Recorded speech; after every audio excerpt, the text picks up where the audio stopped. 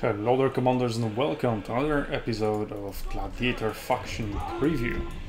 So, usually I do those previews on tier 10 units, as they're sort of an end goal or just represent the end game and represent the unit type the best, as they have the best combination of stats and min-maxing of um, various advantages and disadvantages that the unit has, and usually just are a nice middle ground as well. But in this particular case of this mysterious unit type that, well, says on the tin is just sword infantry. And well, it is. But what's unique about it is this ability. Release! They're slingers in disguise. So yeah, that's why I took um, a tier 8 unit. I should have done tier 9, but it was faster for me to just do uh, tier 8. Leave So I did. Yeah. So all the units from this uh, Tech 3 branch, from I think starts at tier 3 ends at tier 10 obviously, um, all of them, apart from the tier 10, have the ability to fling rocks. Eight of them. Um, obviously, you can replenish your ammunition by going to heal. As you can see, the damage is, well, just like slings. Pretty shit, and non-existent. So it's good that at tier 10 it doesn't exist, but why does it exist on all the other tiers when the ability is really super shit?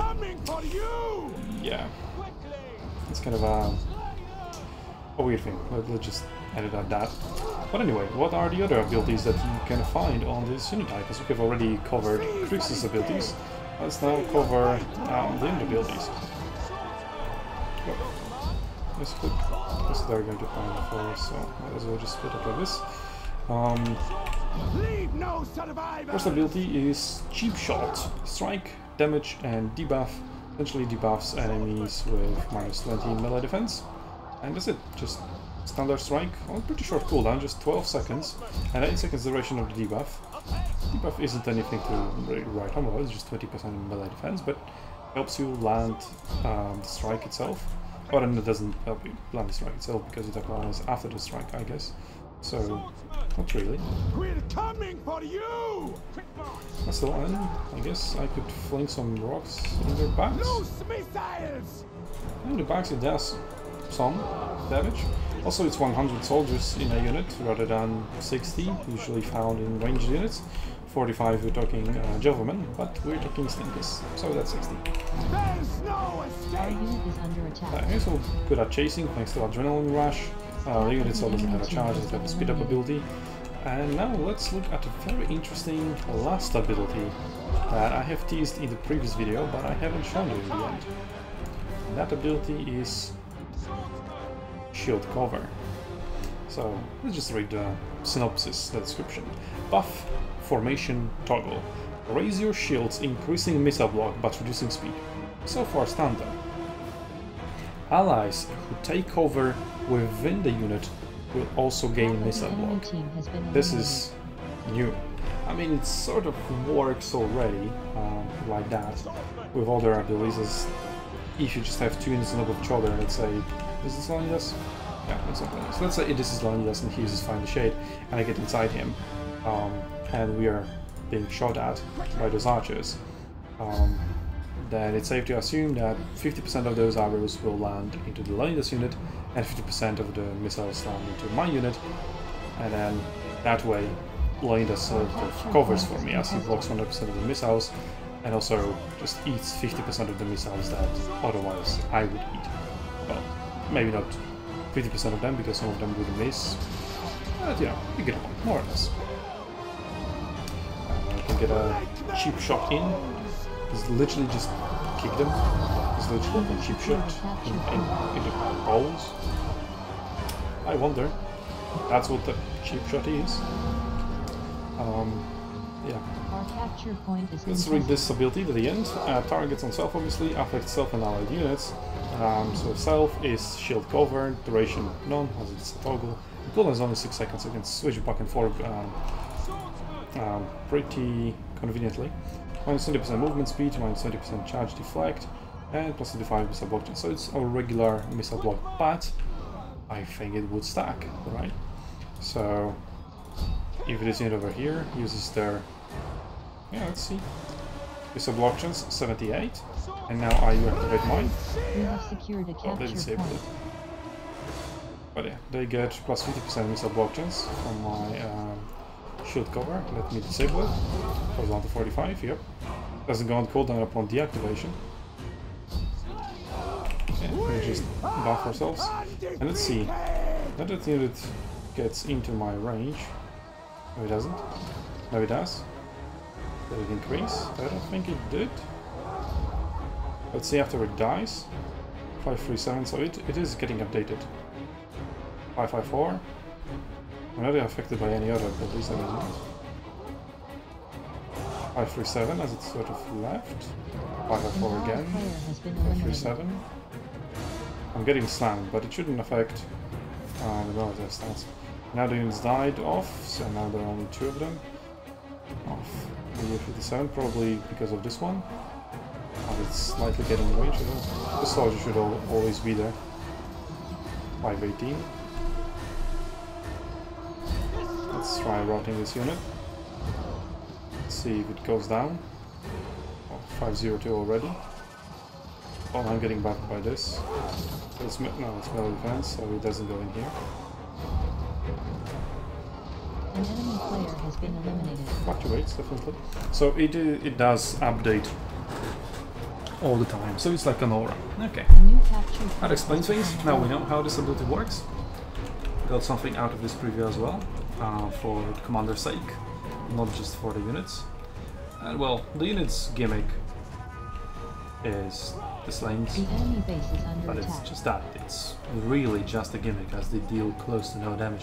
Even to archers, as they have super low armor. Our unit is under attack. Um, 140 altogether.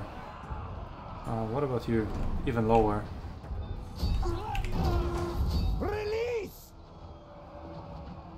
Yeah, mostly fives, some tens, some 18s, I think. 1000 damage from almost capture point is 300 soldiers, over 200.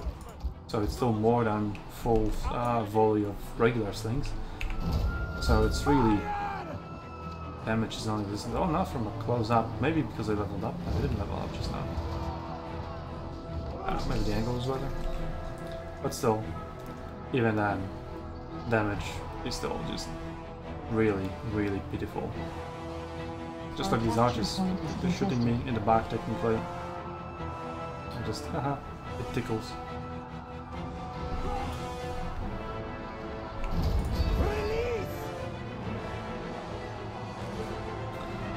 Yeah.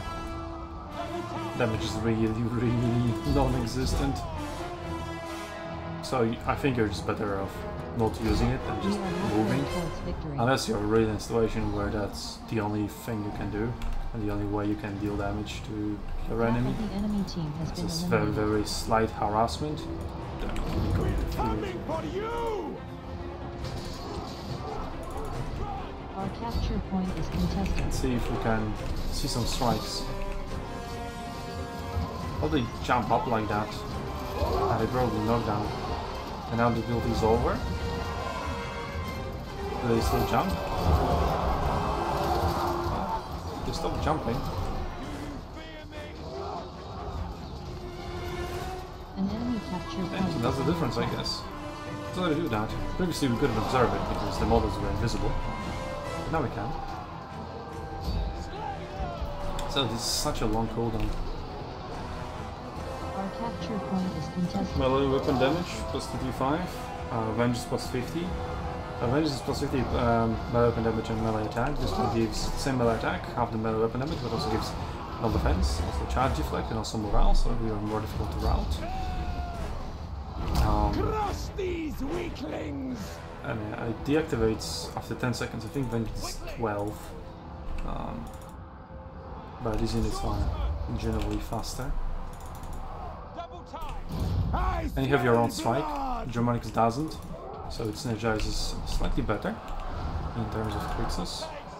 But Germanicus doesn't need 9 enemies around him to do that. And if you have 9 enemies around you, um, you should be able to be routed. So take that into consideration, I guess, uh, when judging the power of this commander.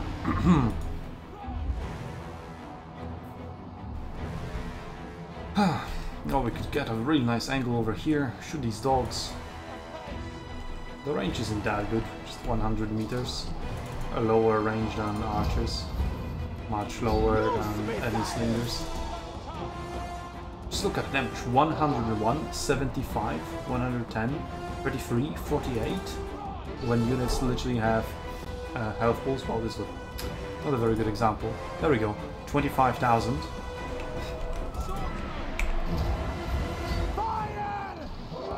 We dealt to that unit, and we even overall, we dealt 300 something damage compared to 25,000. Yeah, that's, that's very significant. Yeah, that ability is. Oh, okay, I mostly dead, but even when those guys were full, that was still utter shit. Your numbers mean nothing! Yeah, we're quite powerful as we are fighting a big blob. And also these units are all small, so that also helps, because they're not that scary. And Ninja as well. So both these, this gives me 20, 21 melee weapon damage, this gives 25, so altogether it's 46, so just 40% less than Vengeance. Obviously this lasts only for 10 seconds, this one lasts as long as the fight lasts. Uh, but still, it can reach Vengeance levels, let's say. We have secured the capture Well, I point. won't even reach the fight. Um, maybe if I just rush straight forward, I can fling my last stones. Fling? Sling? Launch? I don't know, I think it's fling, right? You fling a swing? Sling? Not swing? Ah, almost in range. Yeah, get wrecked, George. Yeah, boy. 140, uh, 68 damage. Officially wrecked. Then I have two ammo on some of them. Because I used one throw over there in the forest at the beginning. With only one unit. Maybe it was with you. But again, one of them should still have something. unit is under attack. Doesn't matter. So yeah, the verdict on this unit type. Yeah, reach tier 10 when you don't have the sling thing hail of stones. As it's terrible. On tier 9 though, it's slightly better. It deals more damage on tier 9. Um, so still, we reach tier 9 and tier 10. And then again on tier 9 and tier 10 you have ability swapping so you can just swap it out. And I guess tier 10 would be able to swap it back in if you wanted. But I don't think you should. so there we go, up to tier 8. That tech tree, it's really not worth it. Then again, it's the only tech tree. I'm going to spoil it right here. That has 100 soldiers per unit. All the other um, are smaller units. But well, that is going to be another episode. So for now, thank you for watching. Go check out how you can help us bring the Lurana back to West. Uh, link in the description on your screen if I didn't uh, if I didn't forget about it. And I'll see you in the next episodes of the Faction Preview, all my other episodes as well. And also on Arena's Battlefields Commanders.